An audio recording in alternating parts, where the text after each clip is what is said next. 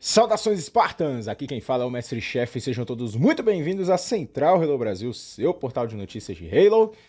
E bom, pessoal, vocês falarem que o áudio aí deu uma melhorada na qualidade, tô usando o headset aqui, então já deixem nos comentários uh, se a qualidade do áudio está um pouco melhor, se não, eu volto a usar o, a, a, câmera aqui do, micro, do microfone aqui da câmera mesmo, mas se estiver melhor, dê um feedback aí em relação ao headset, beleza? Mas enfim, pessoal, Faz tempo que eu gravo um vídeo aqui para vocês comigo aparecendo, né?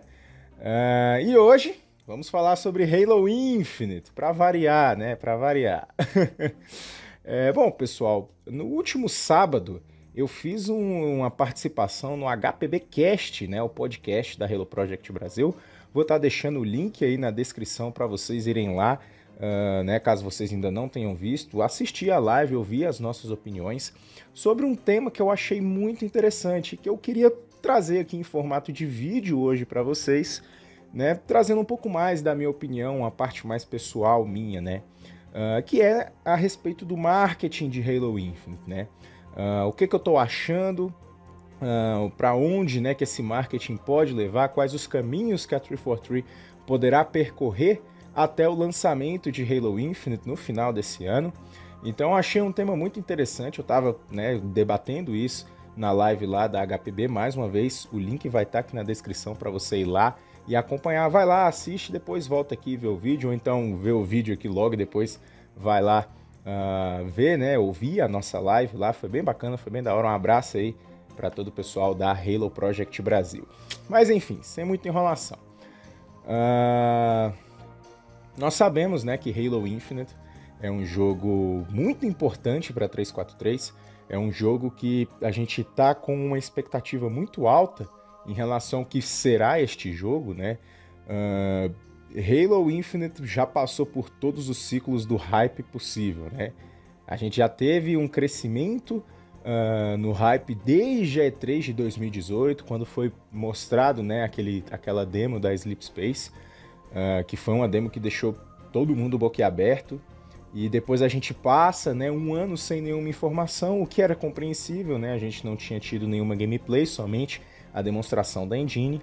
E aí nós chegamos no ano de 2019, que é onde a gente tem a, a, a primeira, primeira gameplay, né? No caso seria a cutscene ali inicial, né? Antes da gente começar a jogar de fato e muito bacana, né? Várias teorias começaram a ser feitas na internet. Quem não lembra aí dos vários detalhes, né, no visor do Master Chief, né, aquela tela verde cheia de quadradinhos passando. Quem não lembra desses detalhes aí que a gente fez até mesmo uma, uma minissérie aqui no canal, né, o dissecando o trailer, uh, mostrando, né? A gente teve um episódio do dissecando o trailer somente para isso daí. E, enfim, foi muito bacana, foi muito da hora. Porém, o ano de 2019 é marcado pela saída de um diretor criativo, né, que foi no caso o Tim Longo, e também pelo completo silêncio da 343 em relação a Halo Infinite. Né? A gente não teve mais informações relacionadas a esse jogo por parte da 343. Pelo contrário, a gente foi ter informações mediante parcerias, né, produtos, brinquedos. Quem aí não lembra dos vários vídeos aqui do canal uh, da gente comentando né, os produtos da Nerf, da Mega Bloks, da Wicked Cool Toys, né, mostrando novidades de Halo Infinite. O que, de certa forma, é um pouco estranho, né? A gente esperava que tivéssemos né, confirmações de coisas relacionadas ao jogo por parte da desenvolvedora e não por parte dos brinquedos e etc. E, por exemplo, foi pelos brinquedos que a gente soube que os banidos estariam no jogo. O que, né, de certa forma, tirou um pouco uh, da surpresa né, de quando nós tivemos aquele vídeo de revelação no canal oficial da 343, né, do canal oficial do perfil Halo, mostrando né, aquele vídeo uh, retratando né, a chegada dos banidos a Halo Infinite. E depois né, desse vídeo a gente teve, obviamente, né, o dia 23 de julho, a tão infame gameplay, uh, que foi quando né, eu acredito que o hype que estava sendo construído desde 2018, depois em 2019 ele sobe, mas aí ele hum, fica num, numa, numa situação um pouco estranha, porque a 343 não está falando nada sobre o jogo e, e de repente a gente está tendo mais informações sobre brinquedos do que pela própria 343. Aí a gente começa a ver vídeos novamente, vê uh, aquela imagem, né? Que foi revelada, acho que um ou dois dias antes do evento, uh, do Master Chief, né? Já com grappling hook aqui, vocês estão vendo a imagem aí. E aí, de repente, tá todo mundo hypado, todo mundo esperando. E a gente tem a gameplay. E é uma queda vertical, cara. Uma queda vertical. Foi uma, uma coisa muito impactante de forma negativa, né? Em relação à gameplay de julho. E depois disso a gente teve várias outras coisas que realmente, uh, de certa forma, fizeram com que o hype do jogo diminuísse, oscilasse, mas enfim, a gente teve a confirmação de que o multiplayer seria free to play e rodaria a 120 frames no Series X e muito provavelmente vai rodar no Series S também, né? a questão é que na época o console ainda não havia sido anunciado, por isso que eles não falaram nada. É... Depois a gente teve a confirmação do adiamento do jogo para 2021, né? O que aí, enfim, é, foi o maior balde de água fria. E depois, óbvio, a gente teve né, a saída do Chris Lee do projeto. E desde então, Halo Infinite vem voltando, como eu até mencionei na live da HPB, vem voltando na estaca zero. Imagine que o jogo já teve seu hype lá em cima e depois fez uma queda tão grande que praticamente virou um hype negativo. E, cara, desde, a, desde o retorno do Joseph Staten né, ao desenvolvimento da franquia Halo, que no caso agora ele está chefiando o projeto Halo Infinite, é, eu acredito que a 343 vem sim recuperando a confiança, primeiramente, dos fãs da franquia.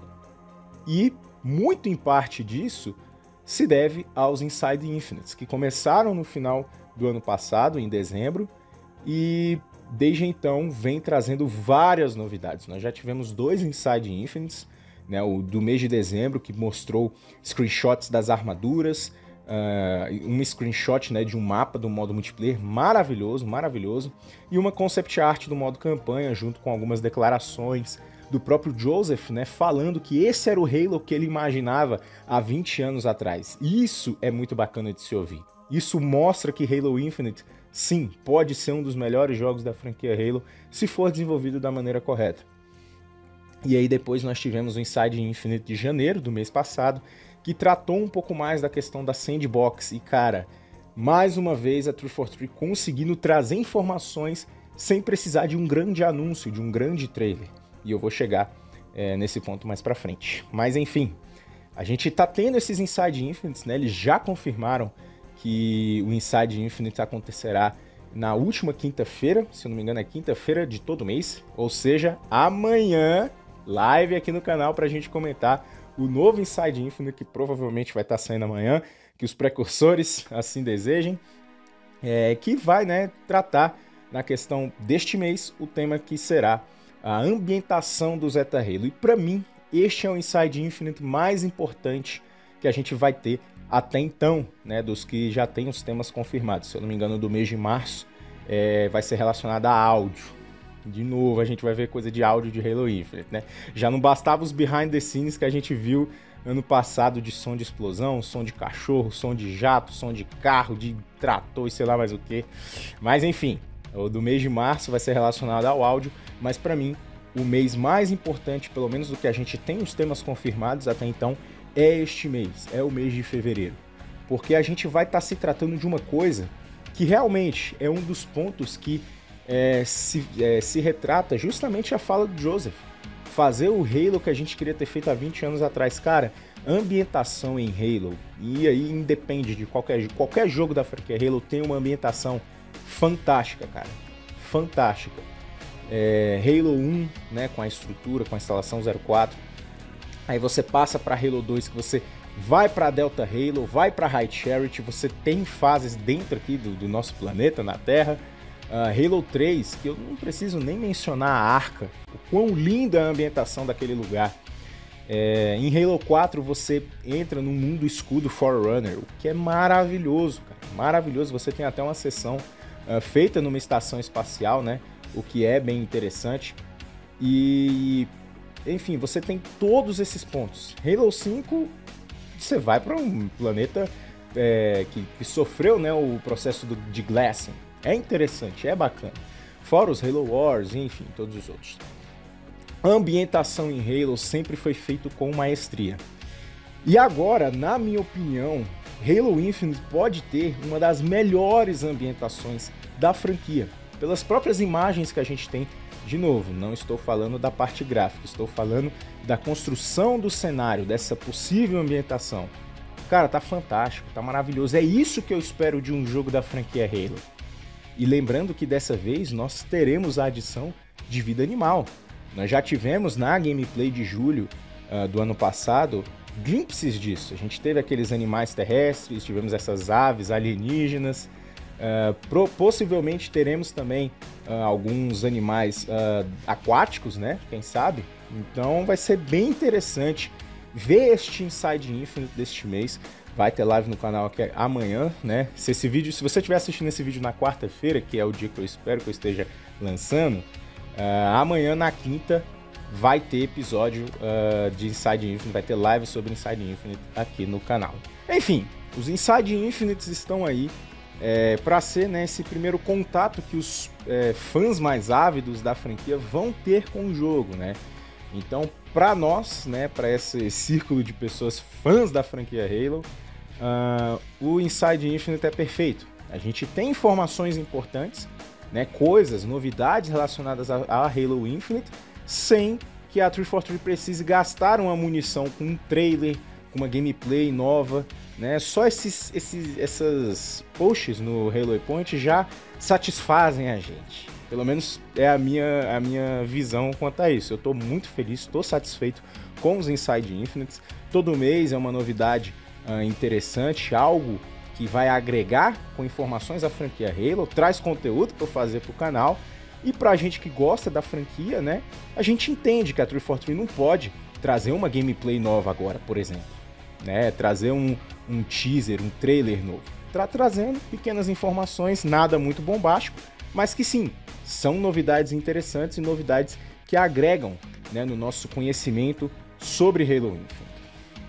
Beleza, mestre chefe. Já entendi o papel dos Inside Infinite. É pra gente, é pra nós que somos os fãs da franquia. Mas e o gamer? E o cara ali, o casualzão? O que, que a 343 está preparando para ele?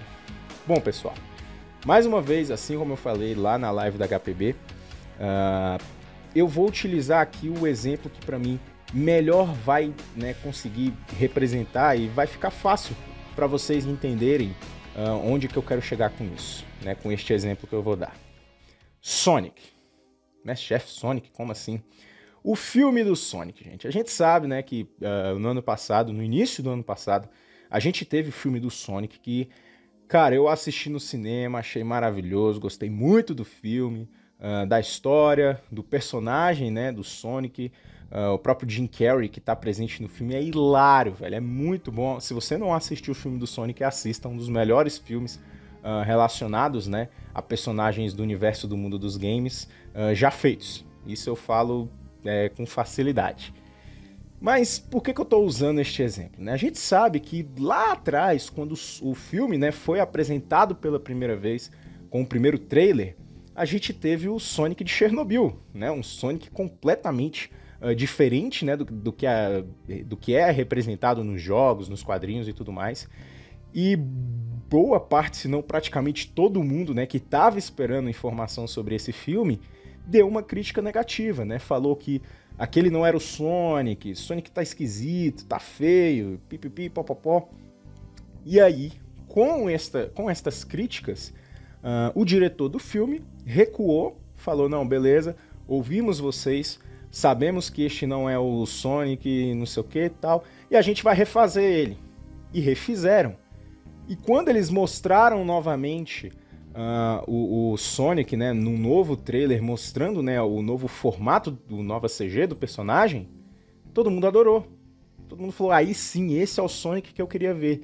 E esse marketing foi tão positivo que fez com que pessoas que não estavam interessadas em ver o filme, de repente acabassem se interessando, simplesmente pelo fato do diretor ter dado ouvido à comunidade e ter mudado o Sonic para melhor, para ficar mais parecido com o Sonic dos games, dos quadrinhos, das animações. E o Sonic foi uma das maiores bilheterias de 2020. Claro que uh, não muito tempo depois do filme ter saído, a gente teve a pandemia e praticamente não teve mais cinema, né, ano passado. Mas uh, o Sonic competiu com um filme da DC. É Aves de Rapina? Beleza, mas era um filme da DC. E foi uma das maiores bilheterias do ano passado. E eu acredito que mesmo se o mundo tivesse seguido o seu curso normal, Sonic continuaria sendo um dos filmes com maior bilheteria de 2020. Fez muito sucesso, fez muito sucesso.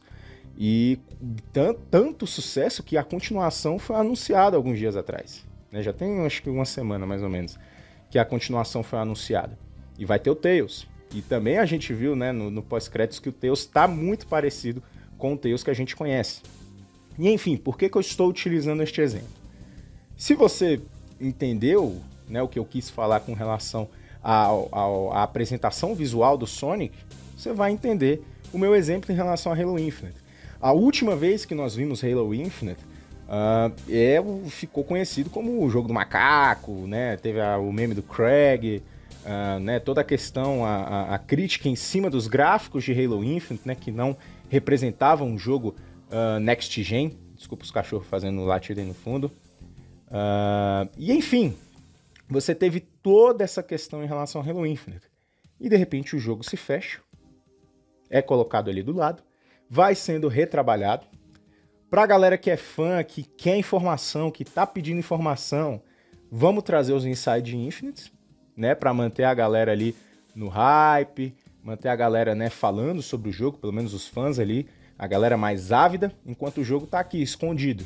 E de repente, no mês ali de junho, julho, a gente sabe, né, o meio do ano, que é o momento dos grandes eventos, dos grandes anúncios, a gente pode ter um E3, pode ter um novo Xbox Game Showcase, a gente traz novamente Halo Infinite, todo retrabalhado com uma nova gameplay, uh, gráficos atualizados, né, mostrando o que de fato vai ser Halo Infinite. E isso vai ser muito bom, cara, porque pro gamer casual, ele não está interessado em saber sobre a sandbox do jogo, saber sobre o, o áudio, a ambientação. Ele não quer isso. Ele quer simplesmente ver o jogo, ver a gameplay. E para esse tipo de consumidor, a 343 está é, segurando a gameplay para ser apresentada em julho. É para o consumidor casual, para o jogador casual, que eles estão segurando a gameplay, o trailer, as grandes novidades bombásticas. E para mim esse é o caminho que a 343 tem que fazer. Ela mantém pro fã, pro cara que gosta, para mim, para você, é, ela mantém ali os Inside Infinites, trazendo novidade, trazendo uh, coisas ali interessantes, importantes relacionadas ao jogo, e os grandes anúncios, os anúncios mais bombásticos, ela segura para um E3, segura para um Xbox Game Showcase, quem sabe até mesmo um próprio evento específico somente uh, para se tratar de Halo? Não sei. As possibilidades estão aí. Mas, em todo caso, uh, eu acredito que esse vai ser o desenho da 343, pelo menos até o meio do ano. Até esse grande anúncio, né, que a gente sabe que vai acontecer no E3, no Xbox Game Showcase, enfim. Depois disso, que aí eu acredito que nós vamos começar a ter uh, mais trailers, uh, quem sabe até uns Vidocs, né? A 343 poderia soltar Vidocs. Uh, mas para mim, essa segunda metade do ano vai ficar marcada principalmente pelas betas ou flights, né? A gente sabe que a 343 vai estar sim trabalhando para que flights ocorram, né? Flights de Halo Infinite ocorram para os jogadores testarem, né? Ter uma primeira experiência com a nova gameplay de Halo Infinite uh, e com o jogo, com a sandbox e tudo mais.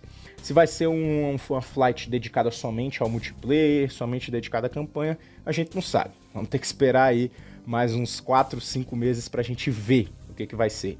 Mas em todo caso, eu acredito que depois do meio do ano, talvez no próprio evento ele já anunciem, ó, oh, vocês gostaram do que viram?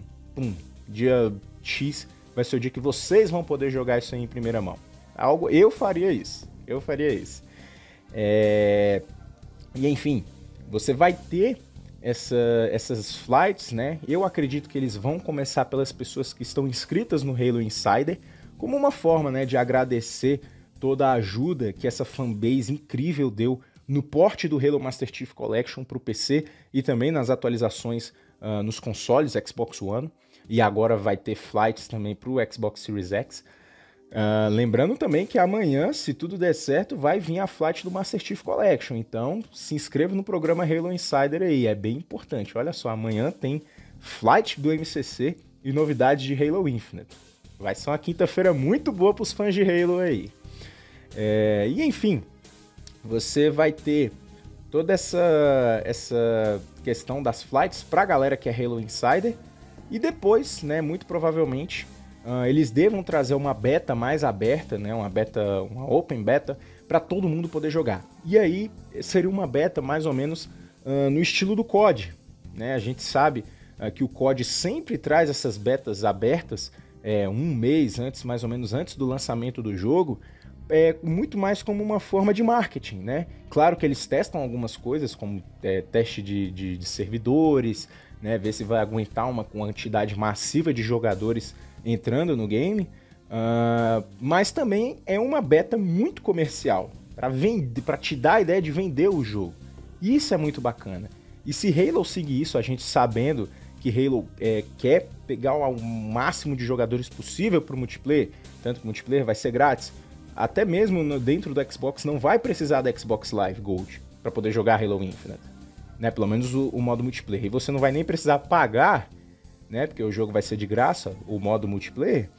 Uh, trazer uma beta pública, né? Uma beta aberta uh, ah, para todo mundo poder testar é um caminho muito simples de se seguir. E eu tenho certeza que a True for True vai fazer isso. Trazer uma beta aberta uh, ah, para poder, é, ser, obviamente, vai ter coisas relacionadas a testes né, do jogo, mas ser muito mais uma beta comercial, né, para vender o jogo, a ideia do jogo. Olha, esse é o jogo, venha jogar. Essa seria a ideia dessa beta aberta. E aí, tudo se culminaria com o lançamento do jogo, uh, né? Uh, a gente sabe que está marcado para o final de 2021 mas vamos ver. Coisas podem acontecer. Vamos esperar aí para ver quando é que esse jogo vai sair. Vamos lá. Não tô falando nada aqui. Tô falando nada aqui. Uh, enfim, esse é mais ou menos o roadmap, se é assim que pode dizer, do que, que eu acho que vai acontecer em relação ao marketing de Halo Infinite. E aí, obviamente, a gente vai ter mais promoções, mais produtos, uh, coisas né, que serão agregadas à franquia Halo. Eu já tô sabendo de uma, mas eu não vou falar aqui. Fiquei sabendo na boca miúda. Brincadeira. Uh, mas enfim, vão existir mais uh, propagandas de marketing com Halo Infinite. Isso eu posso garantir a vocês. Eu tenho informação. e com essas peças de marketing, tudo vai se desenhar para que todos os olhos eh, estejam voltados para o lançamento de Halo Infinite no final de 2021. Uh, inclusive, a gente já sabe né, que grandes jogos, pelo menos de grandes franquias, uh, que seriam lançadas esse ano, né, talvez no final desse ano, uh, já foram né, jogadas para os anos seguintes. Né? a gente teve o caso aí dos jogos do, do, PlayStation, né, que já foram anunciados que não serão mais lançados este ano, como por exemplo o Gran Turismo. Não foi dito nada ainda sobre o God of War, mas eu tenho minhas dúvidas se o jogo vai sair este ano, mas enfim, não estou dizendo nada. Pode ser que saia, mas eu particularmente acho que não. Mas ok. É... Em todo caso, tá tudo se desenhando para que Halo Infinite tenha um lançamento uh, único. Não vai ter jogos tão concorrentes assim na janela né, de lançamento do Halo Infinite. Pelo menos não que eu me lembre aqui, tá? Às vezes pode ser que saia um COD novo aí, porque eu acho um pouco difícil porque o Modern Warfare ainda tá bombando e o Black Ops Cold War, uh, por mais que não tenha vingado da mesma forma que o Modern Warfare, ele ainda assim é um jogo importante para Activision, né? Tá tendo atualizações, principalmente a integração do Warzone agora no Black Ops, uh, mas eu pelo menos não vejo tendo um código novo esse ano. Posso estar enganado. E talvez o único jogo que seria ali um concorrente direto, né, seria o próximo Battlefield. A gente ainda não tem informação, não sabe se esse jogo sai esse ano de fato, mas, né, a gente sabe que o BF novo tá para chegar. Se vai ser este ano, a gente não sabe ainda. Mas enfim, tá tudo se desenhando para Halo ter uma janela de lançamento muito boa, com jogos que talvez não concorram diretamente com ele, ou se concorram sejam um ou dois no máximo, né? Se tiver um COD um BF esse ano. O COD eu acho um pouco mais difícil, o BF talvez seja esse ano. Não sabemos, não sabemos. Tudo pode mudar. A pandemia atrasou muitas coisas, atrasou inclusive Halo Infinite. Então, a gente já está vendo o reflexo disso em jogos que foram anunciados para este ano, sendo adiados para o ano que vem, como mais uma vez o caso do Gran Turismo. Então, não sabemos. Tudo pode acontecer. Pode ser que Halo venha junto de uma porrada de jogos aí tão grandes, né, quanto ou talvez Halo tenha o lançamento mais tranquilo da história e seja ele ali. E dependa só dele. Se isso acontecer, vai ser algo bem interessante, bem bacana. Mas em todo caso, aqui é, eu estou trazendo algumas informações, né, de coisas que a gente já sabe, com especulações, né, o que, que a gente pode ver mais para frente nesse ano. Tudo pode acontecer, tudo pode evoluir, tudo pode mudar, inclusive nada. Inclusive nada, pode acontecer nada, não sei. Mas enfim, uh, Halo Infinite está aí. Vamos uh, até este momento, né, até este período de tempo. O que a gente tem são os Inside Infinite, que para mim eu já estou satisfeito. Trazem novidades, trazem informações, traz conteúdo para eu fazer vídeos e lives aqui para vocês. E vamos esperar meio do ano. Até o meio do ano a gente pode ter um pouco mais de certeza do que vai acontecer. Que são os Inside Infinites todo mês, né? Na última quinta-feira, se eu não me engano, de todo mês.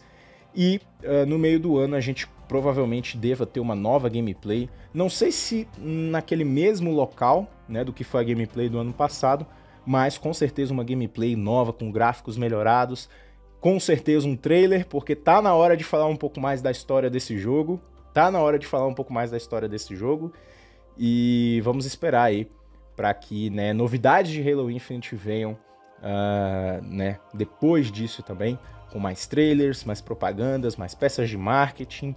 Vai ser bem interessante ver aí aonde que o Master Chief vai estar nessas peças de marketing aí. Fiquem ligados, fiquem ligados. Mas é isso aí, pessoal. Se você gostou desse vídeo, deixe o seu like, compartilhe com seus amigos, se inscreva no canal caso ainda não seja inscrito e se você quiser ajudar a gente ainda mais, considere se tornar um membro aqui do canal.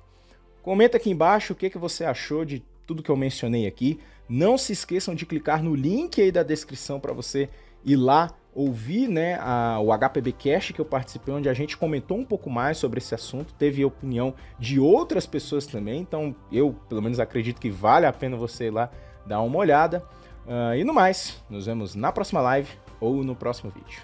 Um abraço mestre e até a próxima. Tchau!